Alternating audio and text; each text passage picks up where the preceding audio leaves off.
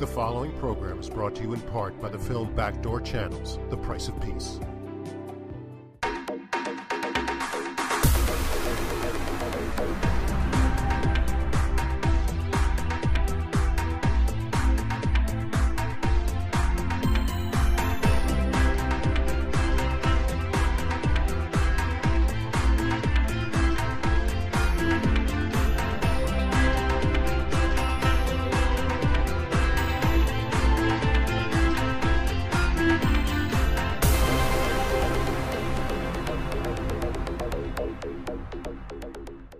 This is Leon Charney for Direct Line Israel USA in Jerusalem at the Prime Minister's building, specifically in the office of Ezer Weizman, considered one of the leading uh, architects of peace in Israel during the Camp David period, a founder of the modern Israeli Air Force, and today the, considered the best ambassador by Israel to all the Arab nations.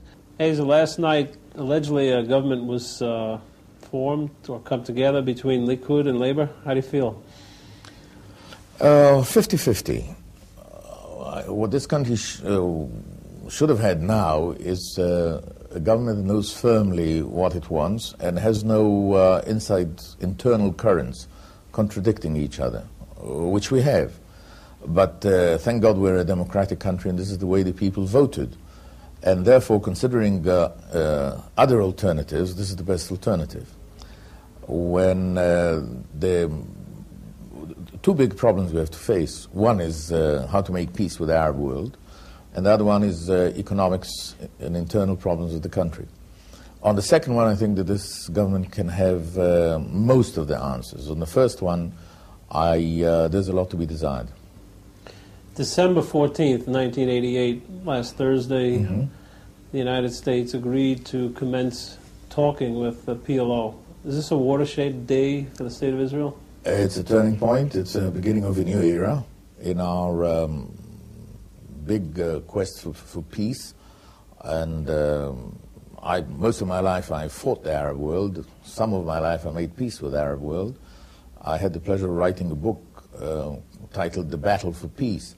And um, people sometimes talk about a battle only when you shoot at each other to achieve an understanding between each other, it's a hell of a big, a big, battle too. And I think it's the beginning of an interesting campaign that I look at it favorably. I think the United States did the correct thing, considering the change or the hopeful change in the PLO, which also, I hope, came to realize that uh, with guns and bombs and, and, weapons, you don't always achieve everything. And uh, the 14th of December was a turning point and a beginning of a possibility of a new era. Ezer, you wrote two books. One uh, on Eagle's Wings, which regaled in the military might and superiority of, uh, of the Israeli nation as a, as, a, as a, military force. And you were the founding father of the modern Air Force, and you were considered uh, one of the military heroes.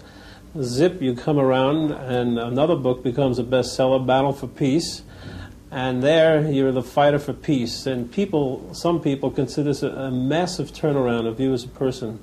Was that really a massive turnaround or a growth? Well, it was a development, and then uh, people always talk about revolutions, which are always very interesting. But you have to analyze the evolution that brought revolutions. Uh, the Russian Revolution didn't just boom erupt one day in 1917, or, or other changes. Uh, the American uh, War of Independence didn't start boom one day. There were reasons and, and developments towards it. Uh, if I may uh, put my little self into a, a, a, similar situation, we had to fight for our life. We had to fight for the existence of Israel. We had to prove to the Arab world that they cannot uh, lick us in battle. We had to prove to ourselves that we can do it.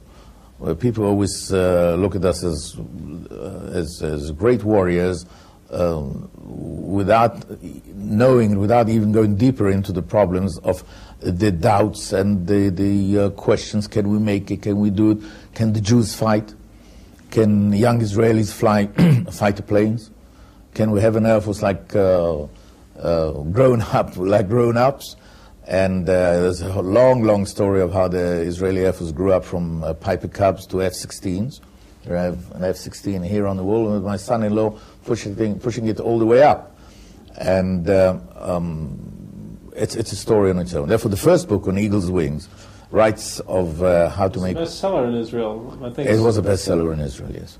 And um, the main the main story there, it's an autobiography, is uh, to put it in a nutshell, is how to make war. At a young age, though, autobiography. It was only half your career. It was an autobiography till uh, 1974, 75. Uh, I don't know. People always say, "May you live to 120." I wish everybody to live to, to 100 and feel like 20.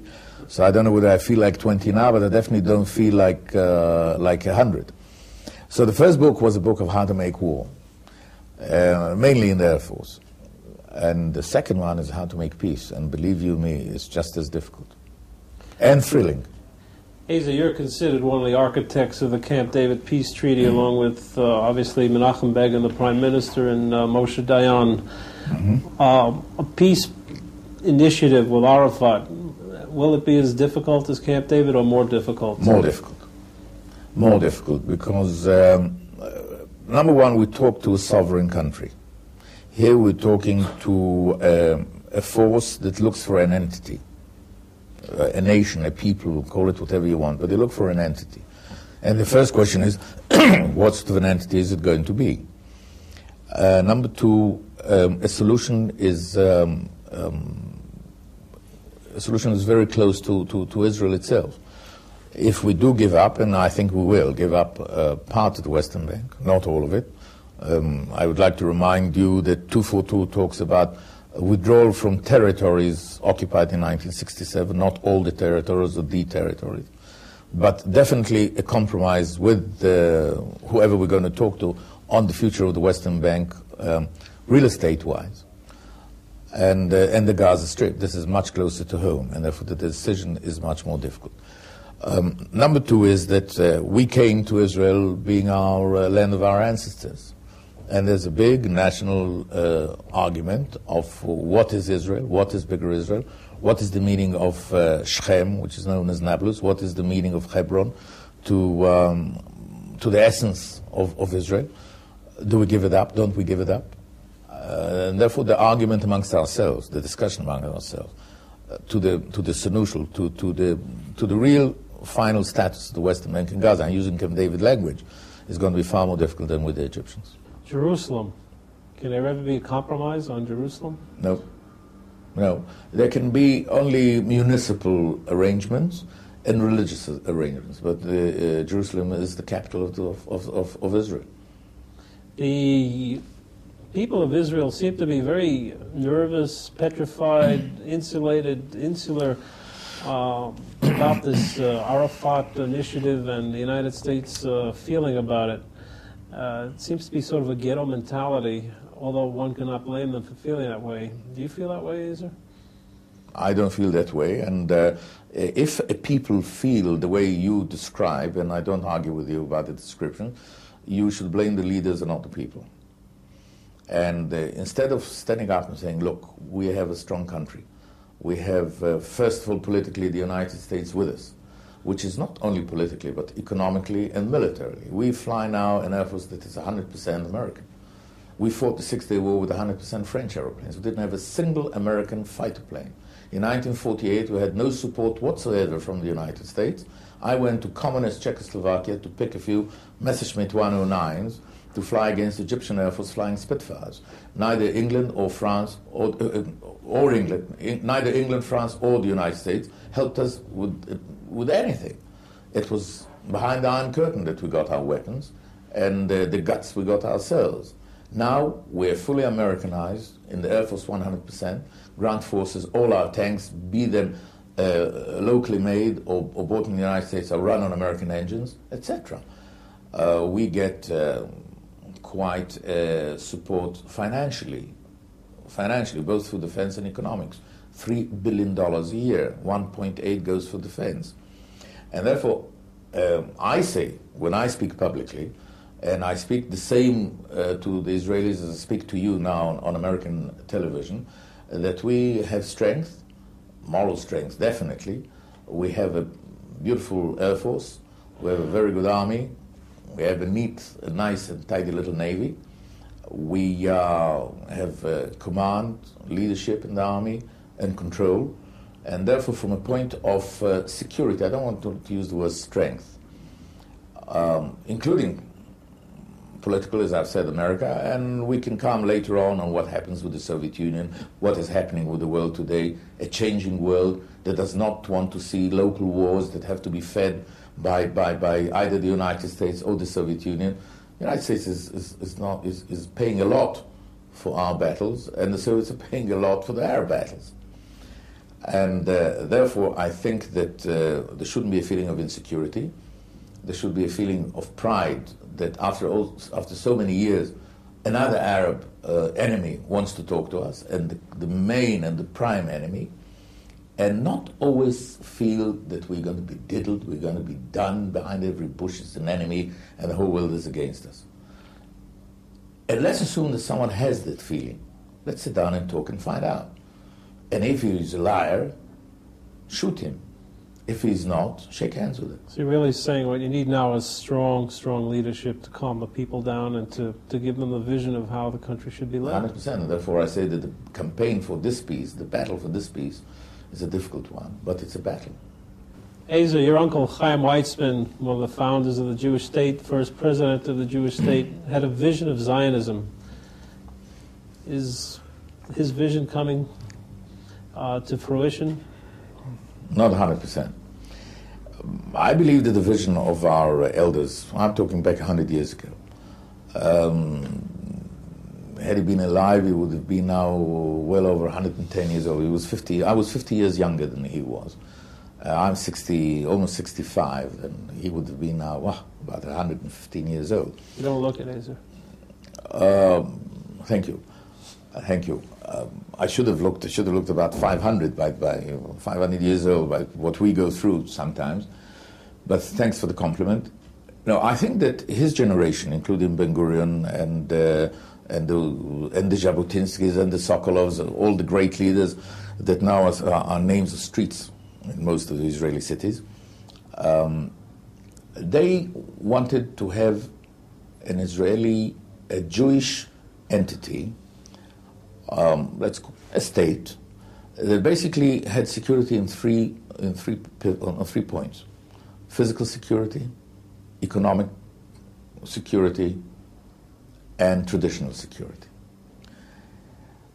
And if we're not careful, some Israelis might think, and some Jews might think, that these three ingredients are catered for beautifully in the United States people for you feel more secure in New York than someone feels uh, in, a, in, a, settlement on the Western Bank or in, uh, in, in, the old city of I'm Jerusalem. very comfortable in Jericho, Ezer. You are very, very comfortable in very Jericho. Comfortable. But you have to admit that you were more comfortable three years ago in Jericho. Last year. Or last year. There, yes. Okay. So I, I as a, as a, second generation of, of these leaders, second, third generation of these leaders, I was hoping that when I have two grandchildren, and I have three now, and two of them are sitting in that cockpit over there, that when they reach uh, the end of the century, they will have a secured Israel physically, a secured Israel economically. And traditionally, each on his own, the way he feels in the uh, tradition of, of, of, Judaism. And uh, after 40 years of sovereign state, we haven't achieved it. To your specific question about my uncle, my uncle said once that Israel will be judged by the way she treats the Arabs, or by the way she lives with the Arabs.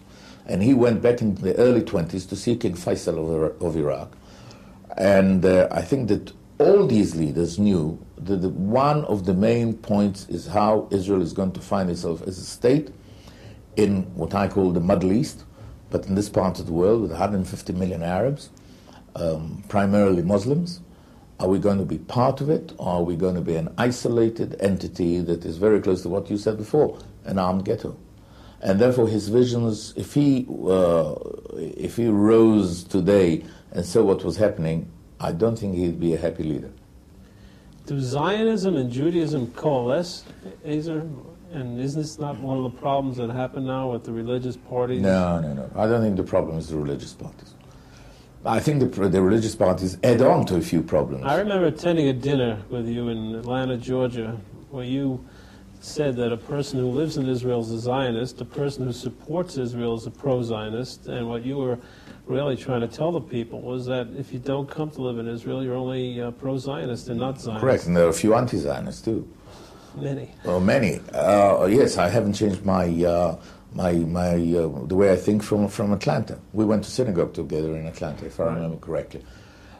Now, uh, Are you disappointed that more people don't come and live in this country? definitely, definitely, uh, we fought the British.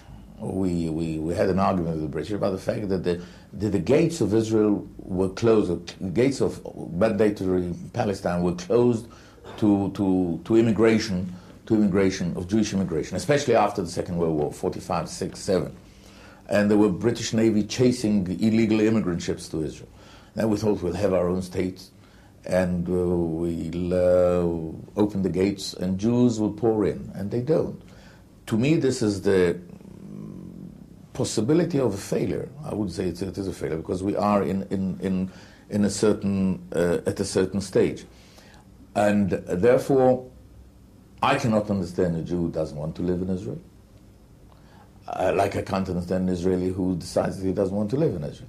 And if this happens now, at the end of the 20th century, where the beginning of the century saw political Zionism come to its own, Balfour Declaration 1917, uh, the first uh, uh, settlers 1882, if we now in uh, 1889, uh, 1989, if we have problems with income, with immigration to Israel, and Israelis leaving, it's only ourselves to blame and ask ourselves, why is it that this country is not that attractive? One of the main reasons is that we don't have peace with the Arab world.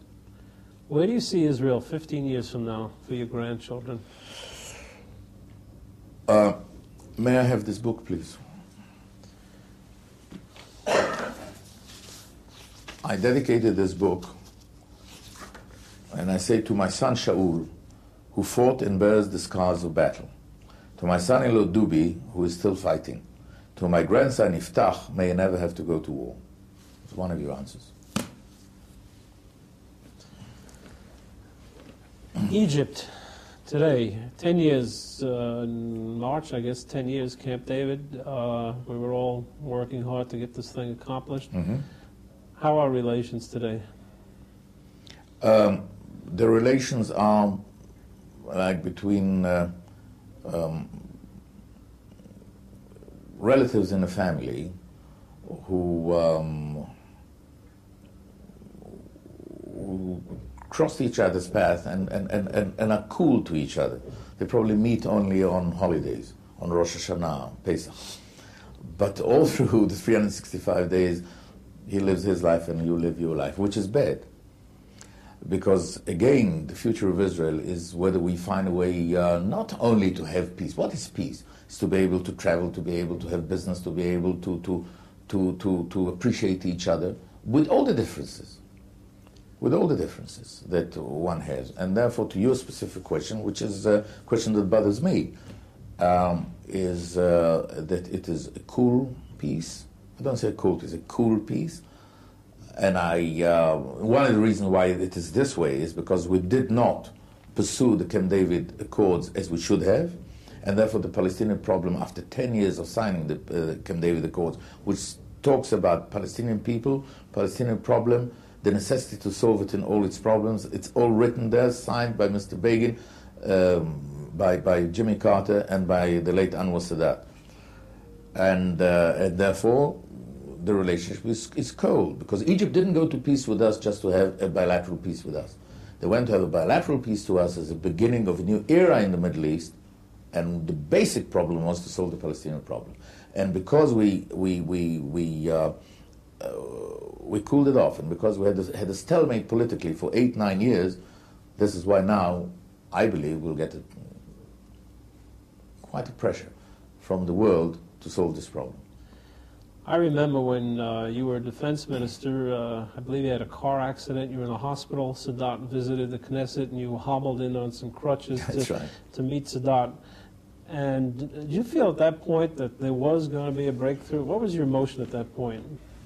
There you are. This is the photograph of Sadat shaking hands with me. This is in Jerusalem in 1977, in November. Uh, he arrived on the 19th of November, and he was a very, very, he was an interesting man. I think he was a great leader. Um, we had differences of opinion, but uh, we, uh, we struck a very interesting friendship. It's a story on its own. I, by the way, had the car accident on the 16th, and um, they told me later on that they thought that I was a super hook. And when they learned that I was not in the reception committee in Lod, and it was announced that I had a car accident, they thought it was just a story. And when he saw me, when he saw me uh, limping in, he was he told me he was very sorry to see me limping, but he was very sorry to see the whole story was incorrect. I definitely thought it was a great uh, beginning of a new era, like like now with the differences of, of uh, the personalities and and, uh, and the problems. What do you fight for in life? Why do you go to wars? You go to wars to have a better life. Anyone who, who fights just for the sake of, just for the hell of fighting, is, uh, is abnormal, is immoral. Anyone who has the understanding that he has to fight for what he believes in, and that the other side also has the belief that he fights for what he believes in, and then you come to an understanding with the other side that uh, had been an enemy, and I think this is a great achievement in strategy, and this is a great achievement in life. And if after um, so many years, almost 30 years, and I uh, was over Egypt most of my life, and my, uh, some of my best friends were killed fighting against the Egyptians. My uh, one and only son, I have a daughter who is married to a pilot, but my son is until today um, disabled from the wars with the Egyptians. Didn't prevent him, by the way, to going with me several times to Egypt. And when, after especially the October War, when we came to real loggerheads with the head on with the Egyptians, and we lost about 3,000 killed. And by the way, I'd like to remind the, you and the listeners in the War of Independence in 1948, we lost 6,000 killed out of a population of 600,000. It's 1% of the population. God forbid if it would have happened to the United States today in 18 months, it's two and a half million people lost in battle. It's a hell of a wallop. And if after all this, and after what the Egyptians uh, went through too, because they got, they got a hiding from us, that their leader comes and says, no more war, and wants to talk business to us, I thought it was a great, great, great day. is, is it possible that that same emotion and uh, feeling that you uh, were able to achieve with Sadat, could that happen between you and, and Arafat? I, I, I don't know. I, uh, I, hope, I hope yes, because I do believe that uh, uh, leaders of, of, countries, and I don't consider myself the leader of this country, uh, one of the pack of leaders, there's a great importance in the relationship between the leaders. Look at what's happening between uh, Gorbachev and Reagan and which I think is a, is, a great achievement on, on, the side of both leaders. I believe that something is happening in, in Russia. What is it that uh, Mrs. Thatcher said the first time she met Gorbachev? There's a man I could do business with. Um, there should be an effort on both sides of leadership to find what is in common, what can be a common denominator between the leaders of the countries, and not a priori say beforehand, he's a liar, he's a thief, he's only diddling, he's uh, actually he wants to destroy me. Hell does he want to destroy me? Anyone who throws bricks and anyone who throws bottles because he has no tanks and no airplanes. And uh, but this is not the only reason with, where I hope to find a, a way to talk to PLO leadership is because going back to you first to your, your, your question about my grandchildren. My grandchildren and the grandchildren of the leadership of the Palestinians will have to live together happily ever after. And therefore, I see it as a great mission to find um, common language with Palestinian leadership, if it's necessary, Arafat, for the future of our grandchildren and theirs. In modern Middle East history, only one peace treaty has stood the test of time the 1978 Camp David Accords. In the new documentary film, Backdoor Channels The Price of Peace, learn the true story behind the greatest diplomatic achievement of our time and its lessons for the future. The price of peace is very high to have this courageous man and my close friend killed. Named by the Foreign Policy Association as one of the top five documentaries of 2011. DVD now available on Amazon.com. Get the book that inspired the movie. Leon Charney's Backdoor Channels is now available exclusively from the publisher. Learn how groundbreaking history was made behind the scenes.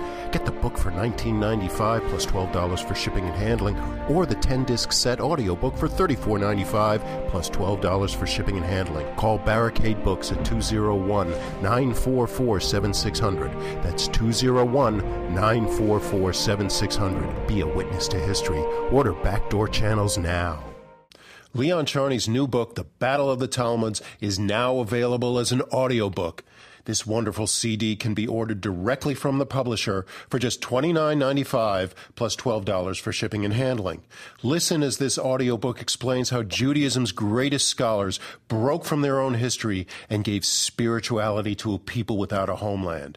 And you can also get the audiobook version of Leon Charney's bestseller, The Mystery of the Kaddish. Get a detailed explanation of one of the oldest and most revered prayers in the Jewish religion as Charney's book explains explains how the Kaddish evolved. Both audiobooks are available directly from the publisher for $29.95 each, plus $12 for shipping and handling. Call 201 944 7600 and order with your credit card. That's 201 944 7600. Immerse yourself in Jewish history. How do you overcome the feeling in this country amongst a lot of the population that uh, Arafat is a terrorist, the killer, the murderer, the I mean, you heard the same things about Sadat. Sadat was a Nazi collaborator, and uh, obviously he wiped out plenty of Israelis. More than Arafat. More than Arafat. Because in, in a real battle where you should throw bombs and shoot guns, more people are killed. So then, your, your possible answer is that uh, you only make peace with your enemies, and therefore one must try to make peace rather than keep throwing bottles. Would that be a correct statement? Very much so. A very correct statement. And you said correctly that there were quite a lot of skeptics about about, about Sadat and about uh, President Mubarak that took over uh, after the unfortunate assassination. People see what people used to say about Mubarak. For instance, they said Mubarak is going back to the Arab world. What the hell did they expect him to go to Scandinavia? He is part of the Arab world. He's the, one of the, the leaders of the Arab world. So, uh, and uh, if I may put my penny's worth into, into now, he's been running Egypt for seven years in a very, very difficult situation. And he's brought Arab uh, Egypt back to the Arab League. And he's now recognized by all the Arab countries. He I'd was ostracized when, good, when he went. Good show. I'd rather have a leader that has peace with us, uniting the Arab world, than a leader that doesn't have peace with us, uniting the Arab world. And uh, I think he's, uh, he'll probably go down in history as one of the great presidents, one of the great leaders of Egypt. I know him personally. By the way, he's a pilot too. He commanded the Air Force. In so. George Bush. George Bush was a Navy fighter pilot. That's why I think that he will succeed. Well, when you when you go into be a, a pilot, especially a fighter pilot, you must you must have it uh, you must have it in you. I wish him all the best, uh, many happy landings. Um, so uh, I know that the country has a, uh, has a certain of latent fear. Again, I go back to leadership. Instead of the leaders coming and reminding everybody of how many were killed and how many were tortured and how many, which is a fact. It's one way of, of, of fighting, unfortunately.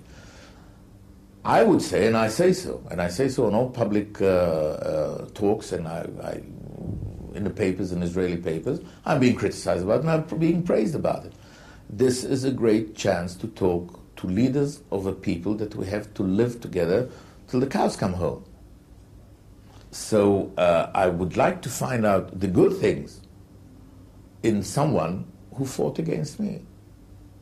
I was I came very close to, to one of my best friends in Egypt is uh, a man who was prime minister, uh, General Kamal Hassan Ali, who has first time we met he went Johnson on me he picked his shirt up and showed me a big scar here and said, This is I got a present from your Air Force. I phone him now regularly to, to, to Cairo.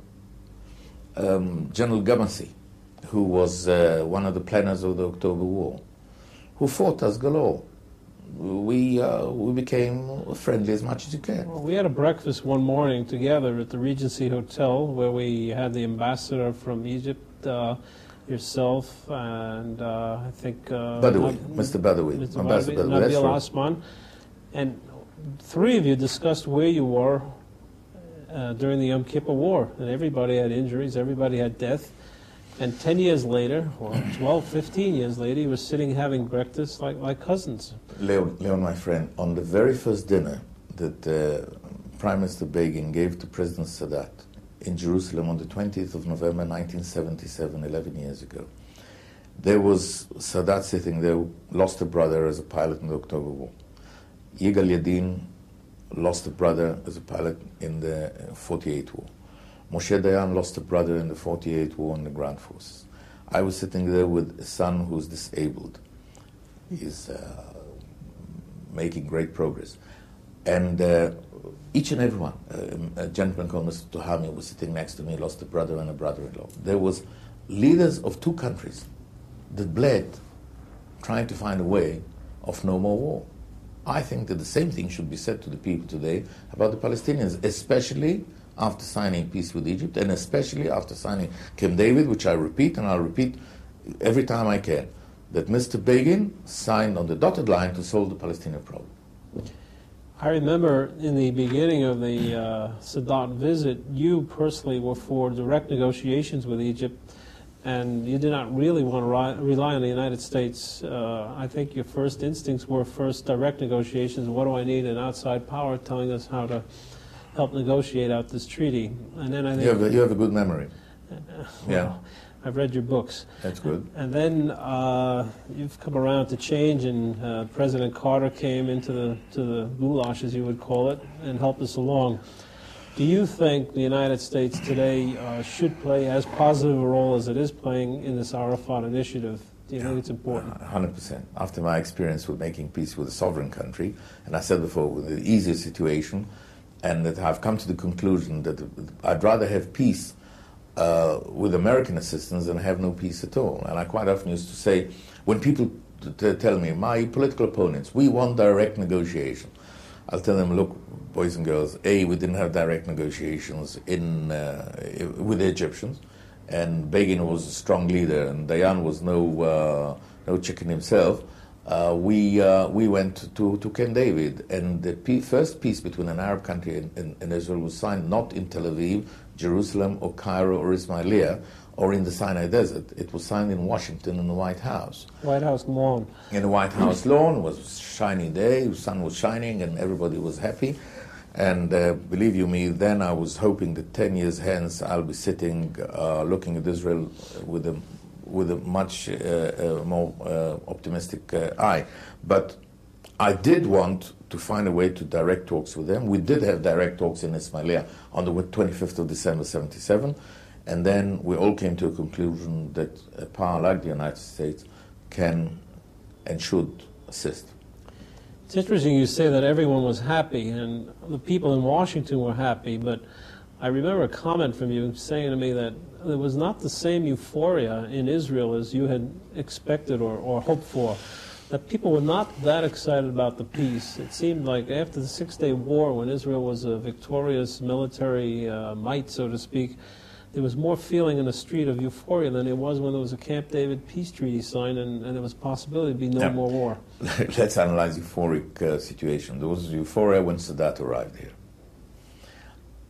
But then, and here, uh, I'm sorry if I'm being critical to people who cannot answer me.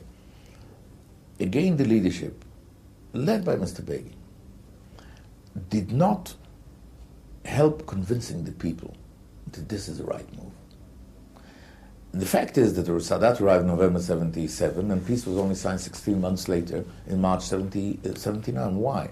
Because there was they, uh, haggling and Sadat always used to tell me, why do you always haggle and haggle? He's had a, quite a heavy problem, haggle and haggle. And there was a lot of haggling going on that they didn't understand. There was a lot of things happened from their side that we uh, didn't understand. But the leadership, like today, did not leap out of uh, out of old ideas and led the people to say, look, there's a new era now. We're giving up the whole of the Sinai, but we have peace with the greatest Arab country in the world, 50 million people. There's a chance for business, there's a chance for, for, for happier life, for tourism on both sides. Instead, we didn't pursue what we agreed to pursue, which is Camp David Accords, which came before the peace, meaning that we have to sit down, have free elections in the Western Bank and Gaza, form a, a, a, um, an administrative council that, that can form an autonomy, and for three to five years, let them be autonomous in the Western Bank and Gaza, and then decide on the future based on 242. I think that somewhere the leadership of Israel realized that by signing Camp David, they put the future of the Western Bank and Gaza for discussion, which is true, and some of them regretted it. Ezer, you were heir apparent to the uh, Likud uh, party as prime minister. You were riding the crest of a tremendous popularity poll. You were defense minister. Camp David had just been signed. Was that the reason you resigned? Definitely. I, uh, I resigned from, uh, from the Herut Many party. people say you gave up the prime ministership by doing that. Who knows? I don't know. I don't know. Uh, to be prime minister is, uh, I wouldn't say that I didn't want to. I wouldn't say that I didn't think that I could do it. But uh, the way things started going, deviating from Camp David, deviating from the peace, uh, leading the country, I thought uh, wrongly. I could have played an act, I could have put on an act, but then I wouldn't be able to shave in the morning and look me, myself straight in the eyes or cut myself while shaving. And you look well shaven today. so you. your conscience is clear? It's more clear. Anyone who says he has a completely clean conscience, what does he say? I have a clean conscience. I never used the damn thing. Yeah? So uh, I can't say that I have a completely clean conscience, but it's cleaner than it would have been had I uh, uh, prostituted myself to political lines that I didn't believe in. You touched on it before, Ezer, but I want to go back to it a little bit uh, more in depth because I think it's I think it's very important as an American, and I'd like to get your feeling as an Israeli leader. The Soviet Union has completely Hmm. changed. It's uh, it's come into a relationship with the United States that very few of us believed. Reagan went in uh, in the first eight years of his administration, the first six years, saying the Soviet Union is our nemesis, our enemy, um, and uh, everything negative. And today, Empire of evil. Empire of Evil. Uh, we need uh, stratosphere, ionosphere. We need Star Wars, Mar Wars, everything in the world. It's changed. He's Okay. visiting Times Square. Right. This goes back to what we, we talked about before about evolutions. Uh, again, I wouldn't say that I, uh, I said so. I hate people saying I said so, but some of us had a feeling, I amongst them, uh, that there must be a change in the Soviet Union.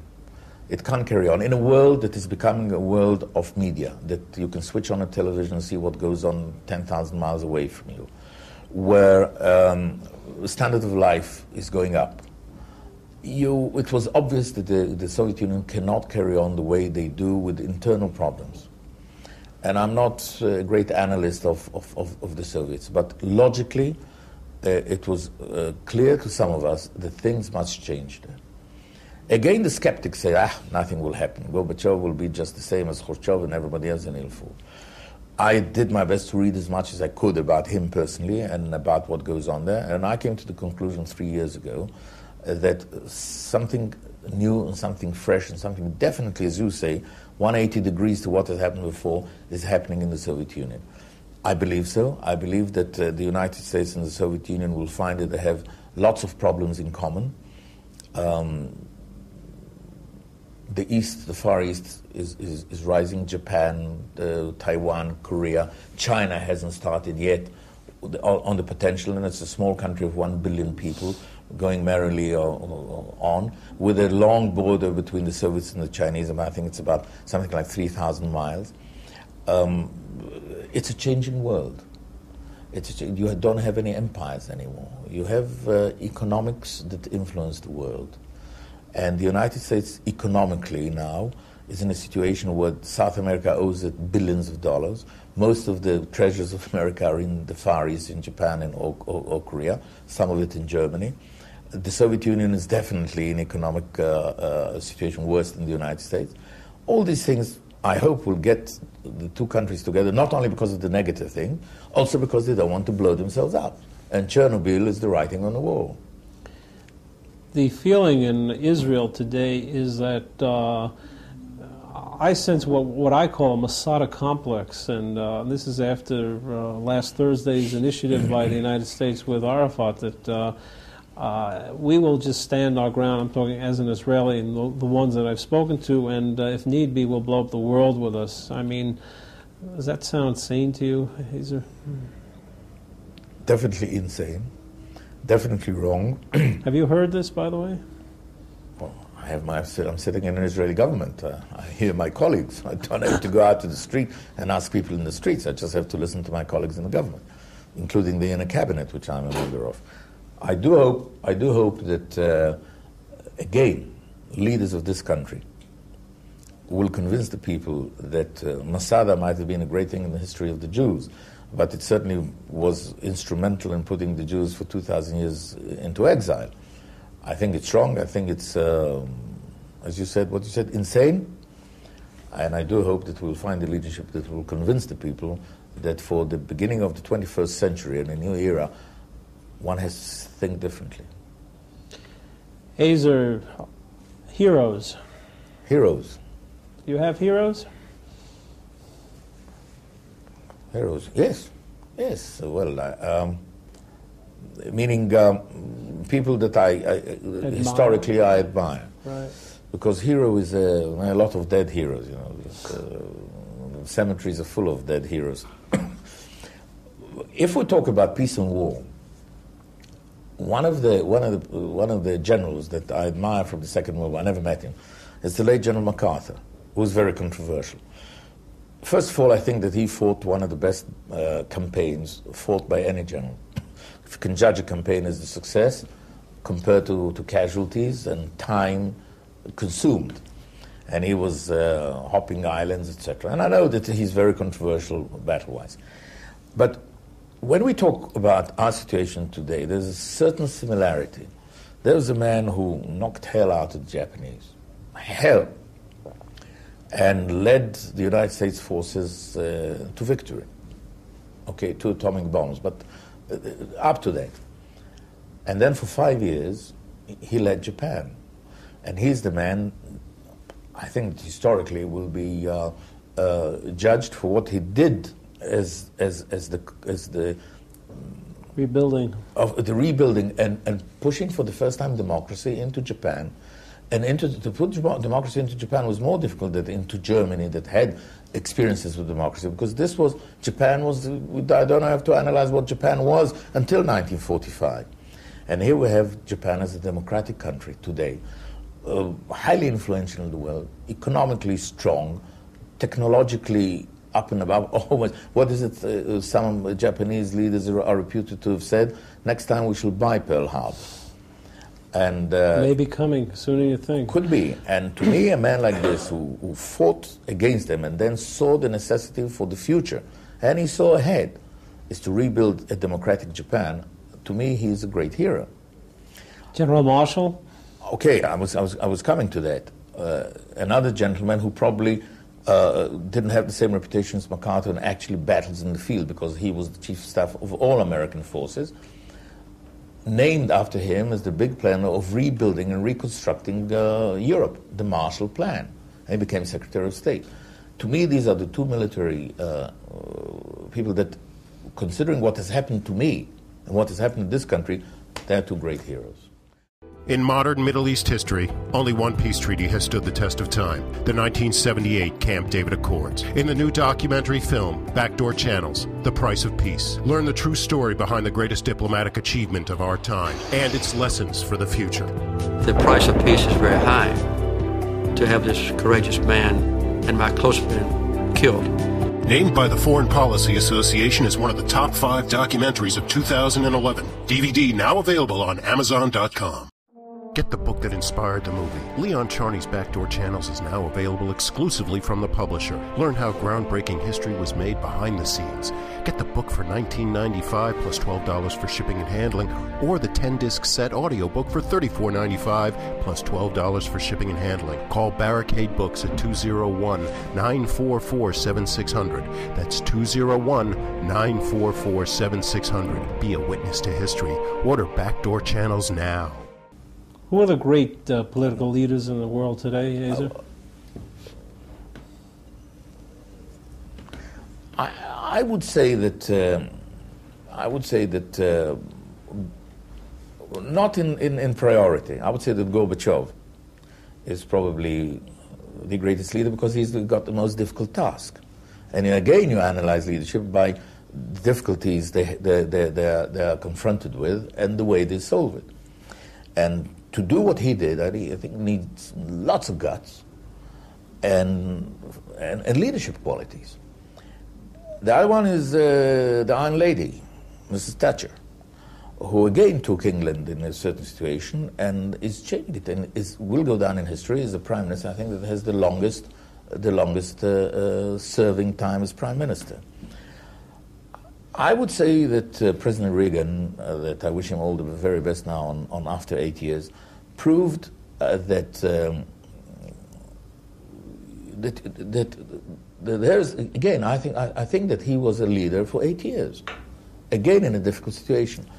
I think that President Bush uh, will have a difficult time uh, because economics, again, in America are not so hot and uh, in a changing world. But I, as I've said before, he being a former Navy fighter pilot, I think he'll make it. Quick comments about a few uh, past and uh, present leaders. Sadat, great leader?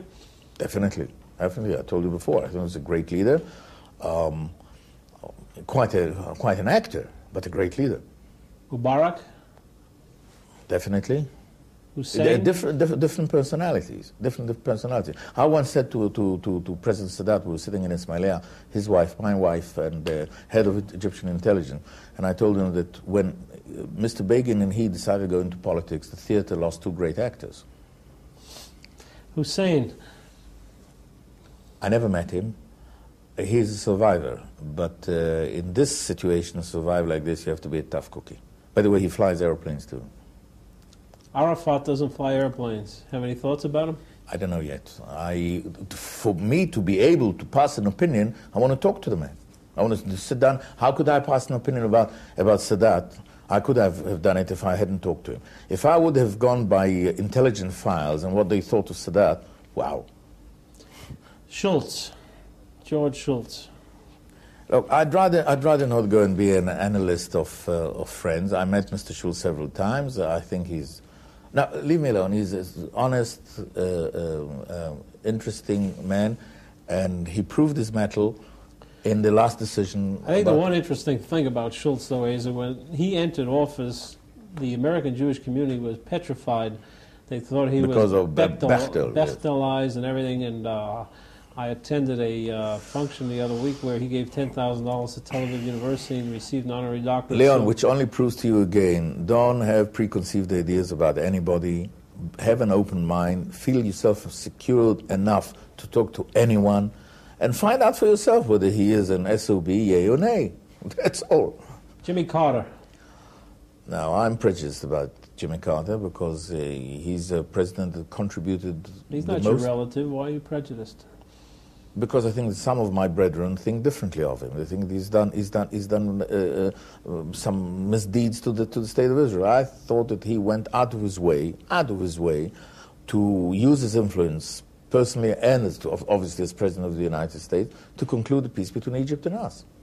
And, and, and, on that, he went out of his way. It Could be that this was also part of the reasons why then he lost his presidency, because he put so much attention to world politics and to, to have this part of the world a quiet part of the world. I know you had a complex relationship with Begin, Menachem Begin. Your feelings about Begin today? It happens to quite a lot of people that you achieve certain, could happen to me too, I don't know, that you have a certain uh, achievements in life and then either you change, the situation changes, or you just uh, uh, shut off all your ammunition. He was great in achieving peace between us and Egypt. He was very wrong in pursuing it. He is, uh, it's, it's easy to bring children to this world, very difficult to bring them up. And he brought a peace child to the world and didn't bring it up. Your brother-in-law, Moshe Dayan. Uh, I had a little nephew who now he's a big boy. And first time he was in, in my at my home, must have been some 30 years ago, and Dayan walked in. Dayan was my brother-in-law. His first wife is, is my sister's, uh, is, my, is the sister of my wife. Anyhow, Dayan walked in with his black patch, and this little boy, six years old, grabbed the arm of his mother and says, Mommy, the real Captain Hook. Was he helpful in Camp David? Definitely, 100%. 100%. The old prophet, Ben Gurion, feelings about him? You have to understand that our relationship with Ben Gurion is completely different to our relationship now with leaders. Age difference between, for instance, Mr. Begin and us, and our generation is only 10 years, while the difference of, of age between BG and us was about 30 years. And he was the, almost the founder of the state, and he was the first leader of the state, the first defense minister. He appointed me as commander of the Air Force. Uh, we all, I think he was a, a great fellow, um, a great thinker, and, and a great leader. Like all great leaders, made terrific things and a few mistakes too. Ezer, you're one of the few uh, Palestinians at that point who flew in the RAF. I flew as a Palestinian, that's and right. Winston Churchill was allegedly your leader. What, what were your feelings about Churchill? That was Churchill, there was I. Um, well, if we talked about heroes a few, a few minutes ago, um, I just talked about, uh, about generals, and then we switched off to, to, to, political leaders of today. I am trying to read as much as I can on everything that was written about, uh, about Churchill, because I think he was one of the great leaders of the Western world, of the world. I've completed only a few months ago uh, one of the late, latest biographies by uh, William Manchester, The Last Lion. Great book, great book. And uh, when you read his books that he wrote, for instance, The River Battle, about the battles in Sudan in 1895, or the Boer War, there's a man who knew battle, who knew life, who had a poetic uh, uh, soul by writing books. And what is it Tolstoy said about Pushkin when he was asked? He said that anyone who writes poetry hasn't got the ability to write correct prose. And uh, Churchill was a great writer, a great leader, and, and, and a great man. And did like, a, were, did like a little thought from time to time, which is also very important. When you were in the RAF and uh, Churchill would address the nation, were, were the people really, um, oh, they were moved, huh? Yes, yes, his famous speeches after Dunkirk, his famous speeches in the Battle of Britain. Never so many owed so much to so few. There were sayings like this. It's only a man like Churchill who could have, could have uh, produced them. And uh, I can quote you 101 sayings of, of, of Churchill. You once told me one of your great heroes was Napoleon. Yes, you have a good memory. That's, that's right. I, um, again, a few weeks ago, I completed a book about Napoleon, but specifically about his campaigns in the Middle East, in Egypt. It's uh, titled uh, Bonaparte in, uh, in Egypt, written by a gentleman called Herold, H E R. And it's a fascinating book. There's a man 30 years old, takes 55,000 Frenchmen, not in uh, Boeing 747s, but in canoes from Toulon, sails for about 35 days, lands in Alexandria, but with him he has, he has not, on, not only an army, scientists, doctors, uh, astrologists, um, you name it, he had it with him. And he, due to his campaign and his vision, new archaeology and new studies of, of Egyptology started then. Hieroglyphs was started by, uh, by him, them finding the stone of Rosetta, which was found as, as, as a result of uh, Napoleon's campaigns in Egypt. Not everything was nice there. There was a very, very cruel battle, a very, very, uh, uh, very difficult one. He had more, more people, more of his soldiers die of plague and eye trouble than in battle. But uh, I thought that he was a, man again, a, a, cruel man on one side, but a man with great visions on the other side. You go to Paris, and Paris is full of Napoleon. You know, back to your uh, comments before on MacArthur, most students in America uh, know more about his military victories than they do about his rebuilding of uh, Japan. Japan. Especially, yeah. I took history in the United States. Would you like to be remembered more for your Battle of Peace or on your Eagle's Wings, your Air Force days, or your peace with? No, no, no. Definitely for both of them. Definitely for both of them because they're linked together. We wouldn't have achieved peace had we not proved to them and to us that we. we uh, we have the, what is it you say in America, the right stuff. If full autonomy we're giving to the Palestinians and they establish some kind of entity, mm-hmm. how do you visualize that? Uh, first of all, there has to be free elections on the Western Bank and Gaza for them to, to elect their own leaders. And uh, I'll quote Mr. Begin. In one, one of the interesting things in his speech was that when he talked about elections to the uh, Administrative Council, and the big problem was then, is the PLO going to be represented, yes or no? And he's in, in the speech he said, and I can show you the speech, I have it here, and he said, if anyone of the organization known as the PLO will be elected, he's elected, let him be elected. In Hebrew, it came out more uh, sort of Yiddish like. Um, and uh, again, but he added on, but if they carry on terrorism, blah, blah, blah, blah, blah, we shall go down on there. But there was an acceptance in a free election in the Western Bank that even someone who's a known PLO will be elected, he'll be accepted. And therefore, the first step towards uh, uh, an, an, attempted autonomy is free elections in the Western Bank and Gaza, regardless who is elected, and then uh, um, let them run their own lives. How about defense and foreign ministry? No, no, we're not talking about statehood, we're talking about autonomy. So, so foreign ministry, definitely not. And, and defense, if there's peace and quiet on the Western Bank, as little as possible uh, coming to Israeli army and, and Arab citizens there, as, as little as, as, possible into contact. But definitely, as long as there's no solution, a, a final status or a permanent solution um, in the Western Bank and Gaza, we are going to keep our forces there. One of your one of your prominent colleagues and a leader of the, the nation today told me yesterday that if uh, real concessions were made on the West Bank and obviously Jerusalem, which we discussed before, there is a possibility of a civil war in this country. Do you believe that? I hope not. I hope not. But uh, this uh, adds on to what we've to discussed before. That this is a far more difficult solution than the one with, this, with the Egyptians and the Sinai. Um, again, for solving problems like this, you need strong leadership. You need a leader that will bang on the table and say, you need a de Gaulle, you need a Gorbachev, you need a, a, an Iron Lady. And right now, there's a lot to be desired. Now, we are like the old British saying, what is a camel? You know what is a camel? A horse designed by a committee. Thank you, Ezer Weizman. Okay, thanks, Ezer. It's a good saying, a horse designed. It's a good ending. Huh? It's a good ending. It's a good ending. In modern Middle East history, only one peace treaty has stood the test of time the 1978 Camp David Accords. In the new documentary film, Backdoor Channels The Price of Peace, learn the true story behind the greatest diplomatic achievement of our time and its lessons for the future. The price of peace is very high. To have this courageous man and my close friend killed. Named by the Foreign Policy Association as one of the top five documentaries of 2011. DVD now available on Amazon.com.